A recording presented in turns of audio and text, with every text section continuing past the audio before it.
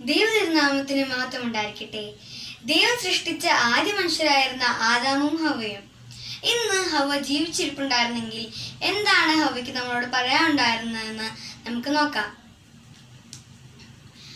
ലോകത്തിലെ ആദ്യ മനുഷ്യനായിരുന്ന ആദാമിന്റെ ഭാര്യയെയും ജീവനുള്ളവർക്കെല്ലാം മാതാവെന്ന് വിളിക്കപ്പെടുന്ന എന്നെ ഇവിടെ ഇരിക്കുന്ന കൊച്ചു കുഞ്ഞുങ്ങൾക്ക് പോലും മനസ്സിലായി കാണുമല്ലോ. അതെ ഞാനാണ് നിങ്ങളുടെ ഹവ അമ്മച്ചി. സകല മാനവജാതികളുടെയും മാതാവെന്ന് വിളിക്കപ്പെട്ടിട്ടും ഒരു മാതൃക മാതാവാൻ എനിക്ക് സാധിച്ചില്ല.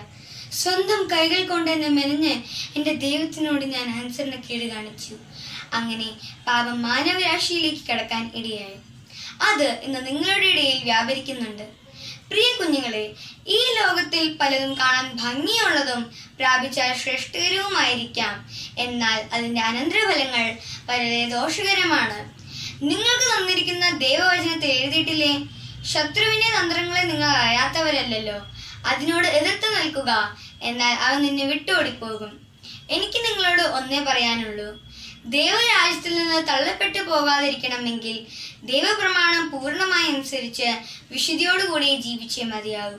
അതിനായി ദൈവം നിങ്ങളെ എല്ലാവരെയും സമൃദ്ധമായി അനുഗ്രഹിക്കട്ടെ.